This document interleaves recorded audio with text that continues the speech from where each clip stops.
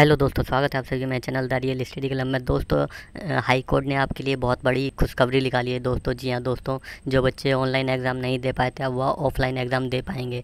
जी हाँ दोस्तों high court ने दिशा निर्देश जारी किए हैं ड्यू को कि बच्चों के ऑफलाइन एग्ज़ाम करवाए जाएँ। या हाई कोर्ट ने बोला है और उन्होंने अपने दिशा निर्देश जारी किए हैं कि कब तक ऑफलाइन एग्ज़ाम करवाए जाएँ। तो दोस्तों, इस न्यूज़ के द्वारा मैं पूरी जानकारी बता देता हूँ कि आपके ऑफलाइन एग्ज़ाम कब होंगे और कैसे होंगे, कहाँ होंगे। ठीक है दोस्तों? तो नीचे आते हैं, बताता हूँ आपको पूरी जानकारी। तो हाई कोर्ट ने बोला है, दोस्तों, दिल्ली उच्च न्यायालय ने सोमवार को दिल्ली विश्वविद्यालय को निर्देश दिए कि वह अंतिम वर्ष के स्नातक छात्रों की 14 सितंबर से भौतिक रूप से परीक्षा शुरू करे। यानी दोस्तों, हाई कोर्ट ने बोला है कि जो भौतिक रूप से आपकी परीक्षा 14 सितंबर से शुरू करें यह हाई कोर्ट ने बोला है ड्यू को। और उन दिव्यांग छात्रों के ठहरने ठहरने तथा परिवहन की व्यवस्था के तौर तरीक़ों पर काम करें। यानी दोस्तों हाईकोर्ट ने बोला है, उन दिव्यांग छात्रों को ठहरने और उनके परिवहन और उनके तौर तरीक़ों पर काम करें। ये हाई कोर्ट ने बोला आई को, जो कोविड नाइन्टीन लॉकडाउन के कारण दिल्ली छोड़कर चले गए हैं।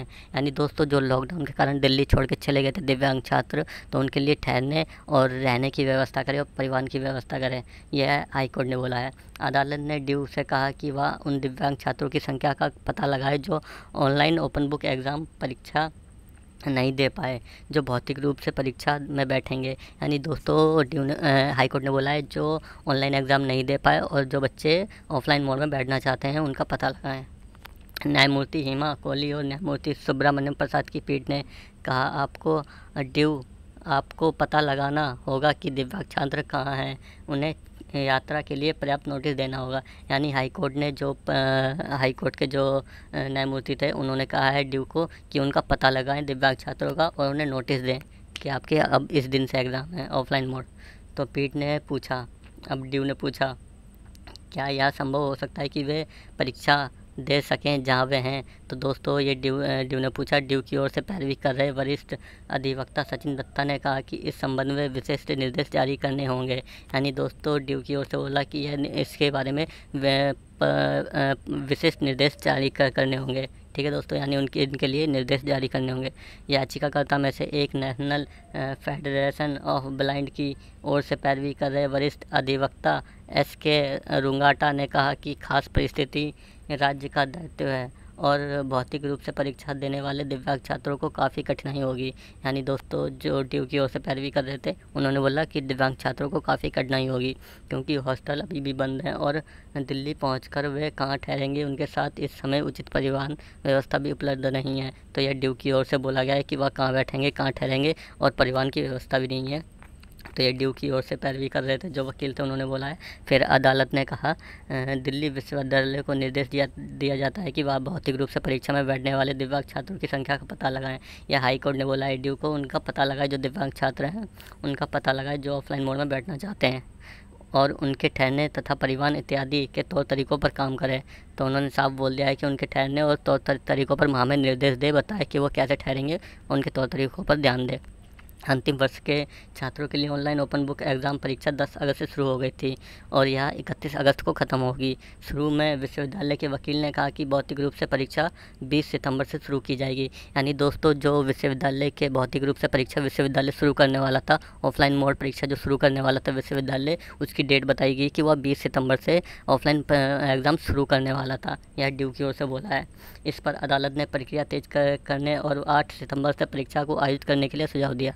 यानी अदालत की ओर से दोस्तों बताया गया है कि बीस तारीख की जगह आठ सितंबर से आप ऑफलाइन परीक्षा शुरू करें अपनी। विश्वविद्यालय की ओर से पेश हुए अन्य वकील महेंद्र रूपाल ने इस पर कहा कि वह परीक्षा शुरू करने के लिए इकतीस अगस्त से कम से कम दो सप्ताह का समय आवश्यकता है। यानी ड्यू की ओर से जो वकील हैं, उन्होंने कहा कि हमें दो जब आपके ऑनलाइन ओपन बुक एग्ज़ाम ख़त्म होंगे इकतीस अगस्त को, उसके बाद उन्हें दो सप्ताह का समय चाहिए। कि ये बच्चों के ऑफलाइन एग्ज़ाम कर, करवाने के लिए उन्हें चाहिए। अन्य याचिकाकर्ता की ओर से पेश हुए वकील मणिक डोग डोगरा ने कहा कि सितंबर के पहले सप्ताह में छात्रों को अस्थायी प्रमाण पत्र की आवश्यकता होगी क्योंकि उन क्योंकि उसने एक निजी विश्वविद्यालय में स्नातक कोर्स के लिए आवेदन किया है। तो यह दोस्तों उनके वकील की तरफ़ से बोला गया है। ड्यू की ओर से तो दोस्तों, ड्यू ने एक एक और बात मैं बता देता हूँ। तो ड्यू ने बोला है कि जो एग्ज़ाम है दोस्तों, जो आठ सितंबर से हाई कोर्ट ने बोला है तो ड्यू ने बोला है कि स्टाफ बहुत कम है और इस समय स्टाफ भी नहीं आ रहा है तो हम पे काफ़ी प्रेशर पड़ेगा। तो ये भी ड्यू से बात बोली गई है।